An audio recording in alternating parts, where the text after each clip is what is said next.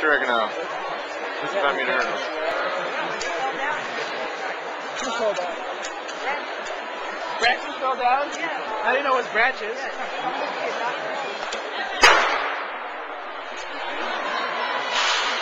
Yep, Pip. Come on, Pip. Yeah, Pip. Yeah, Pip wins the seat.